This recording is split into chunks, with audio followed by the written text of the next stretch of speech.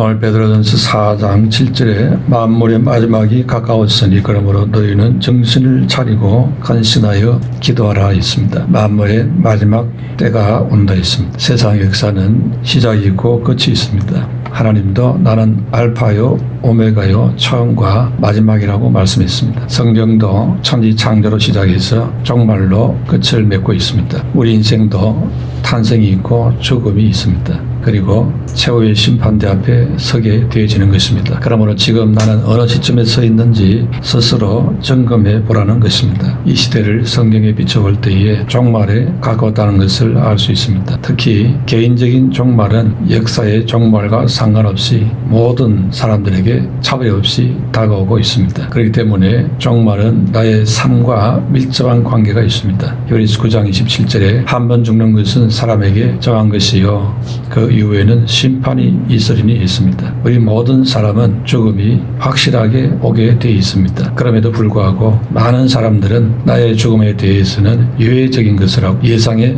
신중하게 두지를 않고 있습니다. 그러다가 어느 날 그것이 갑자기 닥치면은 크게 당황합니다. 로마 박해 시대에 살았던 믿음의 우리 선배들은 당시에 서로 인사가 죽음을 기억하라 그렇게 인사했다는 것입니다. 갑자기 죽게 되는 위급한 상황이 오더라도 언제든지 죽음을 믿음으로 맞이할 수 있도록 준비하라는 것입니다. 하나님께서는 우리가誕生동안에 여러 가지 사건과 사고와 문제를 통해서 준비시키는 것을 알 수 있습니다. 그러므로 지금 우리가 겪고 있는 여러 가지 어려움들도 우리에게 준비시키는 하나님의 사인인 것입니다. 땅에서 천년 만년 살 것이라는 그런 허황된 생각을 갖고 있는 사람들은 준비를 할 수가 없습니다.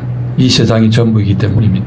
그러나 주의 나라를 바라보는 사람들은 항상 준비하는 자세를 가질 수가 있습니다. 물론 오늘날 긴박한 박해받는 상황은 아닙니다. 그러나 죽음은 피할 수 없는 현실이라는 점을 직시해야 하는 것입니다. 그러므로 항상 종말을 예비하는 삶을 사는 것이 좋은 자세입니다. 그래서 오늘 본문 7절에 만물의 마지막이 가까웠으니 했습니다. 그러면 성도들이 이 종말의 때를 어떻게 살아가야 되겠습니까? 생명도 시간도 재물도 하나님께서 내게 맡겨 주었습니다. 그러므로 우리는 하나님의 선한 청지기로서 마지막 때를 살아야 합니다. 즉 관리자로 살아야 하는 것입니다. 생명도 내 것이고 시간도 내 것이고 돈도 내 것이고 이렇게 살면은 관리자로 사는 게 아닙니다. 주인의 것을 도둑질한 자세로 사는 것이 되기 때문에 올바로 살 수 없습니다. 내 것이 아니고 주님이 맡겨주신 것이라는 사실을 기억할 때에 바른 자세가 나오는 것입니다. 마지막 때를 살아가는 우리 성도는 첫 번째로 기도하면서 살아야 된다 있습니다. 7절에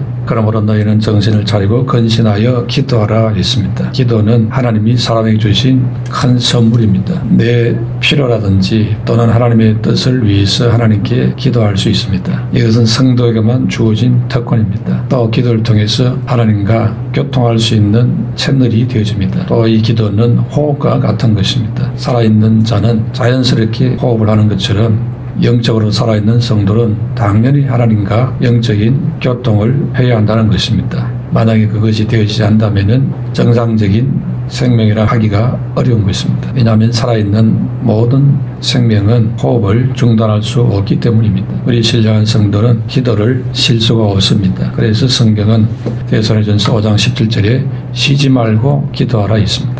오늘 본문에는 베드로가 너희는 정신을 차리고 근신하여 기도하라 했습니다. 정신 차린다는 것은 명령을 찾는다는 뜻입니다. 즉 우선순위를 찾는다는 말입니다. 이 마지막 때에 우리가 살아가는데 무엇이 우리에게 우선순위인지 그것을 알고 기도하는 것입니다. 멸망이 다가오고 있고 심판이 다가오는데 무엇을 우선순위에 두어야 될 것인지 이것을 바로 하면서 기도하는 것입니다. 소동 고모라 심판을 받을 때에 롯의 가족들이 정신을 차려서 우선적으로 해야 될 우선순위가 무엇입니까? 살기 위해서 소활성으로 속히 피하는 것입니다. 그런데 롯의 아내는 이 우선순위가 바뀌었습니다. 생명보다도 재물이 우선순위였습니다. 그래서 그 재물을 가지고 나올 수 없어서 천사의 경고를 잊어버리고 미련이 생겨 뒤를 돌아보다가 소금 기둥이 되고 말았습니다. 말세를 살아가는 우리 성도들은 이 롯의 아내처럼 우선순위를 놓치지 말아야 한다는 것입니다. 그러기 위해서는 정신을 차려야 합니다. 무엇이 우선순위인지 지금 우리에게 중요한 게 재물인지 세상인지 하나님 나라인지 무엇인지 그것을 파악을 하라는 것입니다. 그러므로 우리는 외부에서 어떤 압력이 오고 어려움이 닥치고 고난이 온다 할지라도 분별을 해야 합니다. 무엇이 먼저 해야 될 일이고 무엇이 나중에 해야 될 일인지 이것을 분별해야 하는 것입니다. 구역이 부흥하기만 한다면 제일 먼저 해야 할 것이 있다면 기도인 것입니다. 기도는 환경을 바꿀 힘이 있습니다. 하나님의 능력을 받는 통로가 되십니다. 그리고 이 기도는 사람의 마음을 변화시키게 만듭니다. 에서가 400명의 군사를 거느리고 야곱을 치러 왔습니다. 야곱은 그 소식을 듣고 야복 강가에 엎드려 밤새 하나님께 간절히 기도했습니다. 다음 날 에서가 야곱을 만났을 때는 그 마음이 다 녹아내리고 눈물로 부둥켜 안고 화해하게 되십니다. 기도는 사람의 마음을 변화시키는 능력이 있습니다. 또 기도는 나라를 구원하기도 합니다. 아수르 왕이 히스기야에게 최후 통첩을 보냈습니다. 사내립이 히스기야에게 항복하라 했습니다. 항복하지 않으면 순식간에 다 멸절시키겠다 했습니다. 히스기야는 성전에서 사내립이 보낸 편지를 펴놓고 하나님 앞에 간절히 기도했습니다. 그런데 그날 밤에 하나님께서는 18만 5천 명의 아수르 군대를 완전히 섬멸시켜 버렸습니다. 하나님을 조롱하던 사내립은 부하에게 살해당했습니다. 역대하 7장 14절에 내 이름으로 일컫는 내 백성이 그 악한 길에 있었더나 스스로 겸비하고 기도하며 내 얼굴을 구하면 내가 하늘에서 듣고 그 죄를 사하고 그 땅을 고칠지라 이곳에서 하는 기도에 내가 눈을 들고 귀를 기울이라 했습니다. 하나님은 기도를 통해서 역사하십니다. 그러므로 끼어서 근신하여 기도하라 했습니다. 마귀는 할 수만 있으면 우리로 하여금 기도를 못하도록 합니다. 그래서 세상 것으로 분주하게 만듭니다. 그래서 기도하는 청지기가 되어서 하나님의 능력을 체험하게 되시기를 축원합니다. 두 번째로 마지막 때를 사는 성도는 열심히 서로 사랑하려 했습니다. 팔째 무엇보다도 뜨겁게 서로 사랑할지니 사랑은 허다한 죄를 덮는이라 했습니다. 말세를 살아가는 성도가 하나님과의 관계에서는 정신을 차리고 건신하여 기도하는 것입니다. 그리고 사랑과의 관계에서는 오늘 8절에 뜨겁게 서로 사랑하라 했습니다. 그러면서 이 사랑은 허다한 죄를 덮는다 했습니다. 마태복음 24장 14절 보면은 말세의 특징 중에 하나가 불법이 성함으로 많은 사람의 사랑이 식어지리라 했습니다. 그래서 우기고 버티면은 이기는 그런 세상이 지금 돼가고 있지 않습니까? 양심 그런 거는 그냥 어디다가 다 팔아먹어버리고 없애라. 아무 도움도 되지 않는다. 이런 흐름이 생기고 있는 것을 볼 때에 참으로 이 세상이 마지막이라는 것을 알 수 있습니다. 이럴 때일수록 성도들은 서로 사랑하려 했습니다. 사랑을 받는 것에 초점을 두지 말고 사랑을 주는 데 초점을 맞춰야 됩니다. 그것이 예수님의 사랑입니다. 요한복음 13장 34절에 내가 너희를 사랑한 것 같이 너희도 서로 사랑하라 했습니다. 예수님은 주는 사랑을 했습니다. 사랑의 원행 되신 예수 그리스도의 그 사랑 그것은 성자 하나님께서 하늘 보좌를 버리시고 이 땅에 오신 사랑입니다. 또 제 많은 세리도 덮어주고 사랑했습니다. 또 능력 받으시고 조롱받고 멸시천대 받으시면서도 그들을 향해서 사랑했습니다. 그것이 십자가에서의 사랑입니다. 허다한 허물을 덮어주는 사랑입니다. 그래서 사랑은 허다한 죄를 덮는이라 했습니다. 허물을 덮어준다는 것은 꼬치꼬치 따지고 덜쳐내지 않는다는 것입니다. 사랑은 덮어주는 것입니다. 상대방의 약점까지도 이해하고 용서하는 것입니다. 남의 물을 덮어주는 것은 우리 성도가 할 수 있는 최소한의 사랑의 실천입니다. 그러므로 덮어주는 사랑의 실천자가 되시기를 축원합니다. 교회에 사랑이 없으면 갈등이 생깁니다. 자기 마음에 들지 않으면 편을 가릅니다. 내 편과 네 편을 구분을 합니다. 편을 가르는 것은 마이가 하는 일임을 알아야 됩니다. 교회는 내 편, 네 편 있을 수가 없습니다. 모두가 다 주님의 편이 되어야 될 줄로 믿습니다. 그러기 위해서 예수님처럼 사랑해야 됩니다. 예수님은 자기를 못 박아 죽이는 그들까지도 죄를 용서하면서 덮었습니다. 우리도 예수님의 사랑을 본받아야 되는 것입니다. 마귀는 잘한 것을 덮고 잘못한 것을 자꾸 들추내는 것이 마귀가 하는 짓입니다. 그러나 예수님은 잘한 것은 드러내고 잘못한 것은 감춰 주시는 분입니다. 예수님의 사랑을 우리 성도는 마땅히 배워야 하는 것입니다. 또 원수를 사랑하는 그 예수님의 사랑을 우리 성도들도 배워야 하는 것입니다. 요한복음 14장 34절에 세 계명을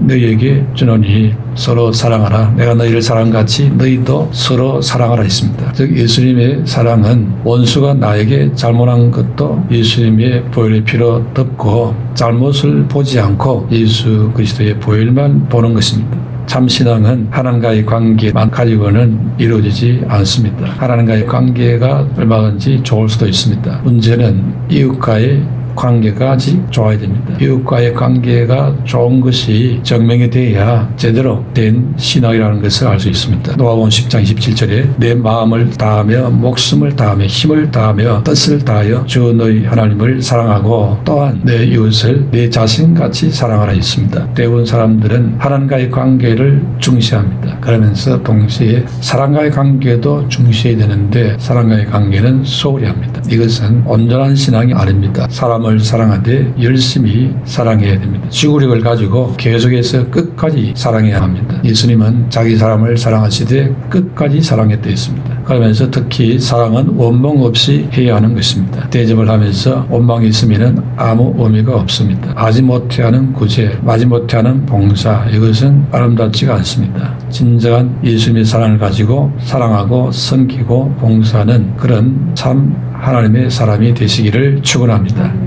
마지막으로 마지막 때를 사는 우리 성도는 봉사는 청기가 되어 있습니다. 10절에 각각 은사를 받은 대로 하나님이 여러 가지 은혜를 맡은 선한 청지기같이 서로 봉사하라 했습니다. 선한 청지기는 봉사하는 자입니다. 청지기라는 것은 관리자를 말합니다. 비록 내 것은 아니지만 주인 의식을 갖고 주인의 마음으로 관리하는 자인 것입니다. 모든 봉사는 하나님이 힘을 주셨기 때문에 가능합니다. 그래서 하나님이 내게 건강을 주시고 내게 재물을 주시고 믿음과 지혜와 은사와 은혜를 주었습니다. 하나님이 주신 것이지 내 것은 아무것도 없습니다. 지금 내가 갖고 있는 것은 다 하나님이 주신 것입니다. 또 부족하면 하나님이 공급해 주실 것입니다. 그렇기 때문에 걱정할 필요가 없는 것입니다. 그러므로 바른 봉사자는 기도하는 사람입니다. 하나님께 공급을 받는 자라는 것입니다. 기도를 하지 않고 봉사하게 되면 자기 것으로 봉사하는 것으로 착각하는 것과 다름이 없습니다. 그러나 기도하는 사람은 내 힘이 부족하다는 사실을 알기 때문에 언제나 하나님의 힘을 구하는 것입니다. 내게서부터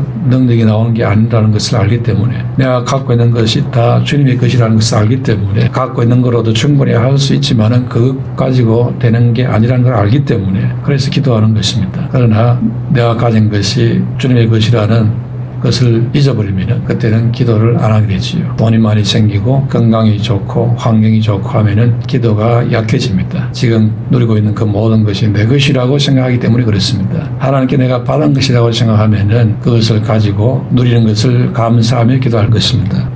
하나님 뜻대로 사용하게 해달라고 기도할 것입니다. 이것으로 인해서 타악하고 잘못되지 않게 해달라고 기도하게 될 것입니다. 마치 요업처럼 하나님께 항상 예배하고 기도하는 자세로 살게 되는 것입니다. 그러나 모든 것이 갖춰져서 이제 기도할 게 없다. 이것은 그 많은 받은 것이 내 것이라고 착각하고 있기 때문에 그렇게 나오는 것입니다. 주인 것은 주님의 것이지 내 것이 아닙니다. 그렇기 때문에 우리는 이 창직의 의식이 분명히 하는 것입니다. 모든 것을 다 하나님께로부터 공급을 받았습니다. 이렇게 하나님 것을 가지고 봉사할 때는 하나님 뜻대로 봉사해야 하는 것입니다. 하나님의 쓰임에 맞는 그런 도구가 되어야 되는 것입니다. 그럴 때에 가치 있는 것이고 행복한 자가 되는 것입니다. 우리는 하나님의 집에 선한 청지기들로 부름을 받았습니다. 하나님의 집인 교회를 잘 섬겨야 합니다. 하나님께서 아들 예수 그리스도의 흘리신 피로 세우신 이 교회를 우리의 주인 되신 하나님의 뜻대로 섬겨 하는 것입니다. 그래서 선왕 청지기가 되어야 하는 것입니다. 선왕 청지기가 되기 위해서 우리는 하나님께로 받은 여러 가지 은사를 활용하고 받은 축복들을 활용하는 것입니다. 그래서 하나님 원하시는 방향으로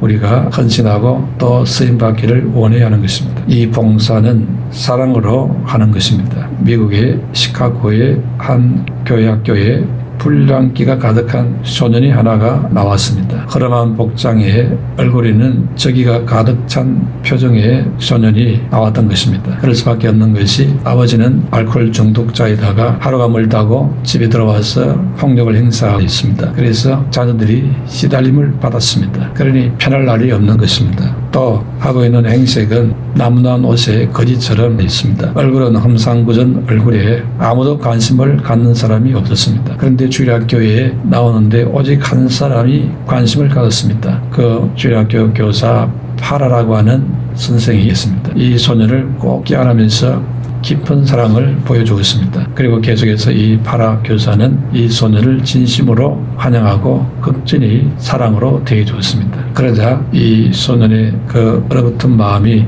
서서히 녹아내리기를 시작했습니다. 얼굴이 굳어서 저기에 가득 찬 그 얼굴이 마침내 시간이 흐르면서 웃음꽃이 흘러나오기 시작했습니다. 그리고 이 소년이 시간이 흘러서 믿음의 사람이 되어집니다. 그 사람이 바로 더와이트 무디라는 사람입니다. 미국의 수백만의 영혼을 하나님께로 인도했던 최고의 부흥사가 되었습니다. 불량한 가정에 불행하게 하루하루를 살아가고 있었는데 교회 가서 선생님의 따뜻한 그 사랑을 받고 그 마음이 하나님의 사랑, 예수님의 사랑으로 변화가 일어났던 것입니다. 이렇게 봉사와 성김도 사랑으로 할 때에 역사가 일어나는 것입니다. 믿음도 사랑 으로 역사한 데 있습니다. 그렇기 때문에 우리가 받은 사명 직분은 사랑으로 감당해야 될 줄로 믿습니다. 지금은 때가 마지막 때입니다. 마지막 때를 살아가는 성도는 하나님 앞에 기도해야 되겠고 또 서로 사랑해야 될 것입니다. 나아가서 우리가 봉사할 때는 선한 청지기로 하나님의 뜻으로 봉사한다는 이런 마음으로 봉사해야 할 것입니다. 이런 온전한 믿음의 사람으로 살게 되시기를 축원합니다.